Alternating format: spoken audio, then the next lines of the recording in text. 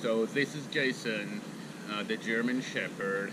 He works at LAX, one of the busiest airports in the world, uh, for sure in America. And he works at the K9 unit of ammunition and bomb squad.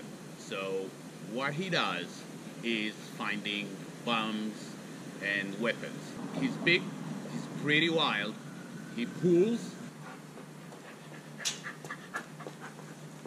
He came to me, I didn't want to break it. I can't break his wildness, let's call it that.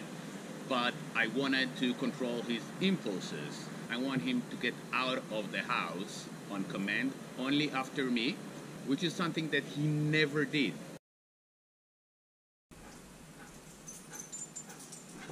Jason.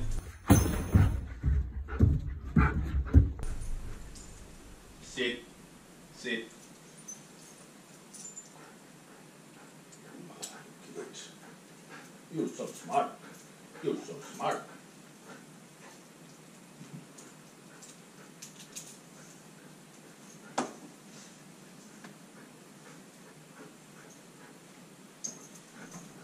Sit. Good boy. Good boy.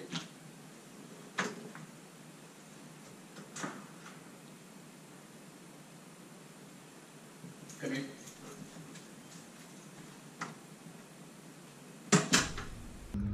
Good boy.